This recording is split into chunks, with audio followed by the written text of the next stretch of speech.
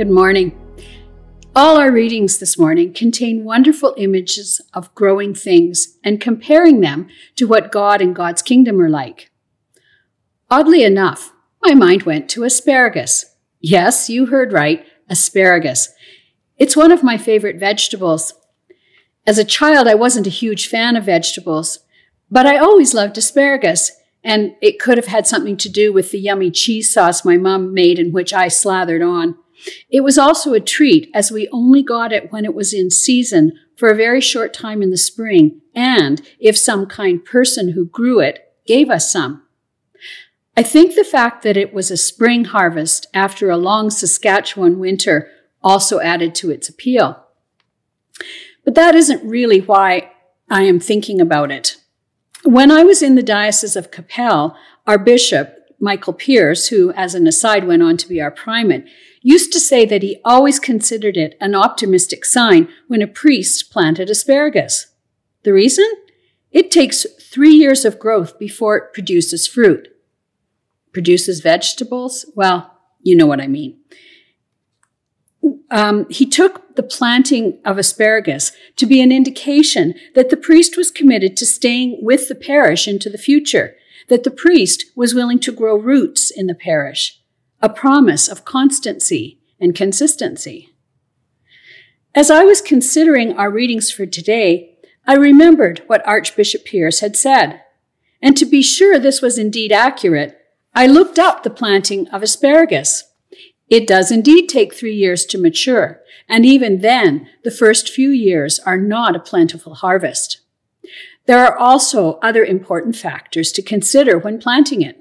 It takes some care, some planning, and some nurturing, but then what a reward in the end. I guess that is if you like asparagus. I could write a parable, couldn't I? Now, I realize not all of you are as enthusiastic about this vegetable as I am, but perhaps you can ride the wave of my enthusiasm? As you know, Jesus used parables to teach the truth about God and the kingdom of heaven. In this morning's gospel, we hear two such parables. These parables, like others, certainly contain messages of reassurance, but it is not always an easy path to that conclusion. Parables were not just used as a comparative way to teach, but were used to wake people up from human understanding and complacency to the reality of God. I read an interesting description of parables that compares them to fables, and here it is. A parable is intended to be disruptive, to interrupt what you thought you knew, and not just teach you something, but actually to confront you with a surprising and often unwanted truth. Fables are handy when you want to give kids some good advice or teach them some moral or practical lesson. Who doesn't remember the lesson of the tortoise and the hare, the hare slow and steady pays off? Or the boy who cried wolf, honesty is the best policy. Parables, on the other hand, are useful when the truth you want to share is difficult, whether difficult to hear, comprehend, or believe. And that's the end of the quote. In the parables we hear this morning, we hear that God is in charge, that although we may plant seeds, we are actually unaware, dare I say, ignorant of the ways that God works. We are challenged to faith and trust in God's ways. We are challenged to think big, that God's ways are more than we can ask or imagine. Even while we are sleeping, whether that is being asleep at the switch or actually asleep in our beds, God is at work. This parable, I think, calls for humility and humble hearts. Something that this first parable has challenged me in is the idea of seed planting. What seeds am I planting? How am I attentive to my spiritual disciplines? How am I reflecting the love of Jesus Christ in my daily encounters and actions? How do I distinguish my will from the will of God? In my life, these are questions I need to constantly wrestle with. I am so grateful for Christian community where these challenges can be shared and where together we can grow in the knowledge and love of Christ. Another challenge is humility. How much do I credit myself, or on the other hand, put pressure on myself to knowing the right way or the right answers without discerning the will of God and being willing to discern that will, not only on my own, but in the context of community. As Paul says in his first letter to the Corinthians, I planted, Apollos watered, but God gave the growth. Right now, I am hearing from a lot of people who are weary. This past year and a half has been extremely tiring, and that weariness is producing feelings of despondency, discouragement, and sometimes anger and frustration. So perhaps a call to be is an exhausting thought at this point. Maybe what we are looking for is encouragement. Some scholars believe that Jesus is linking the parable of the mustard seed to the passage that we heard from Ezekiel. I believe we can find some encouragement here. As we have been hearing in previous sermons, Mark's gospel was written in a brutal time. Mark constantly points to the kingdom of heaven, now on earth and in the heavenly future. The Roman regime was cruel and unrelenting, and the kingdom of heaven was, in addition to a challenge, a message of hope.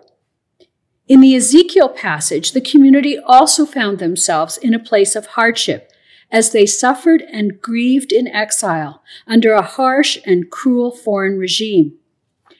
Mark's small mustard seed and Ezekiel's twig form from a cedar provide messages of hope and renewal to a suffering world. Ezekiel speaks of a twig from a great cedar this twig, taken from the large cedar, can be seen as a messianic image, a sign of hope and renewal for the people of Israel.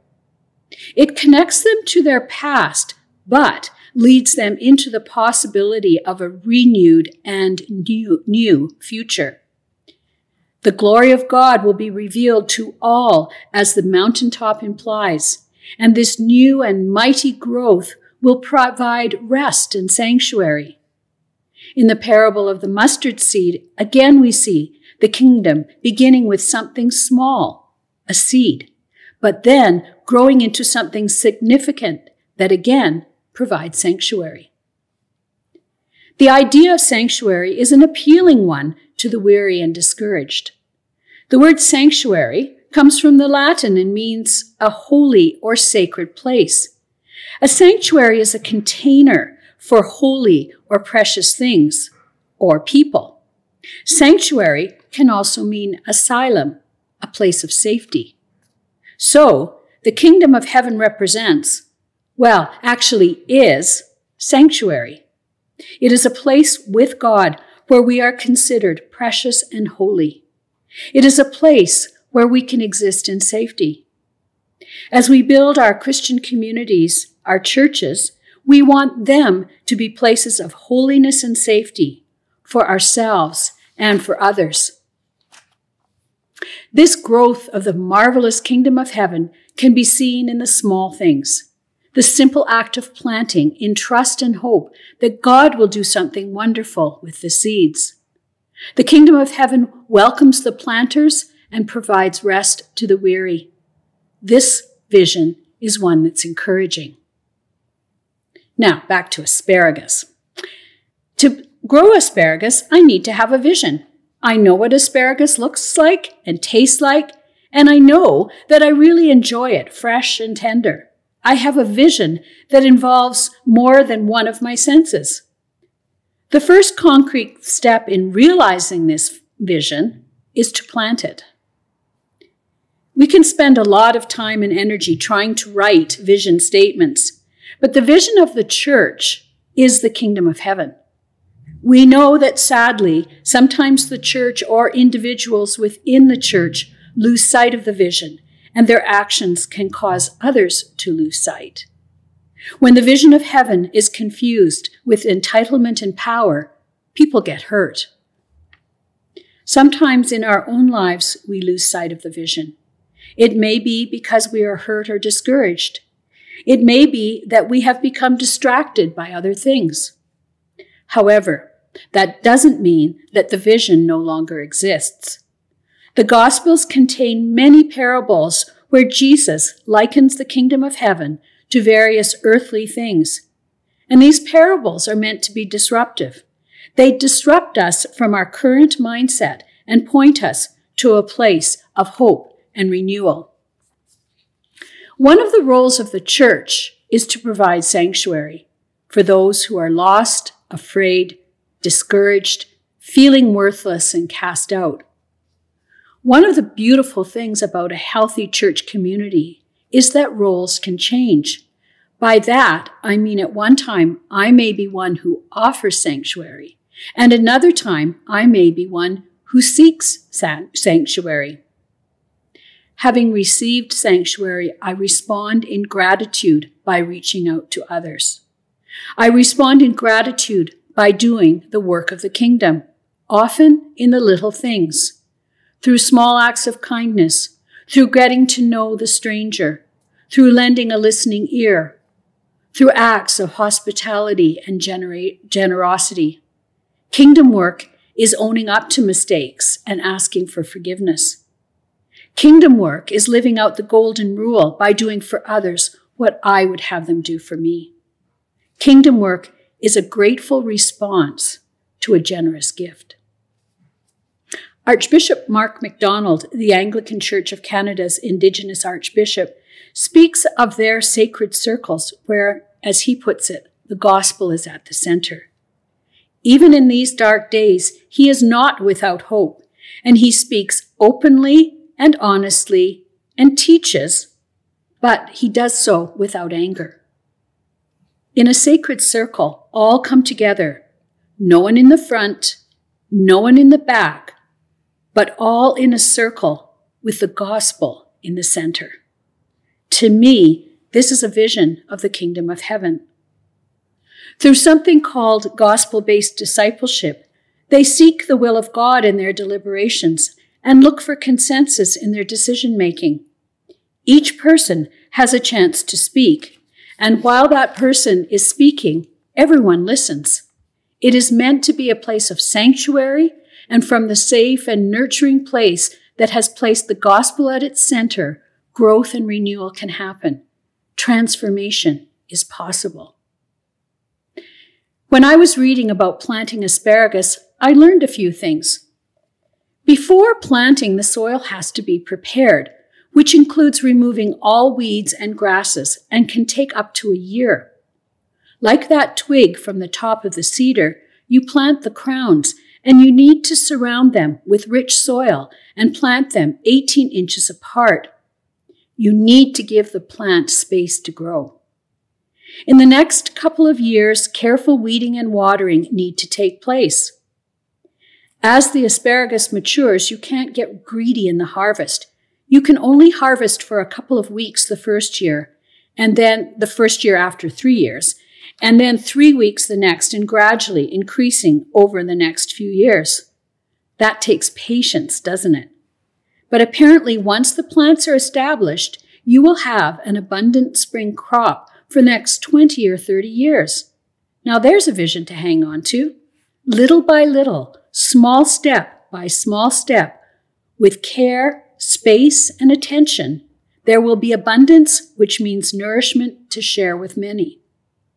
We can plant and we can care, but God provides the growth. Those beautiful green shoots are God's creation.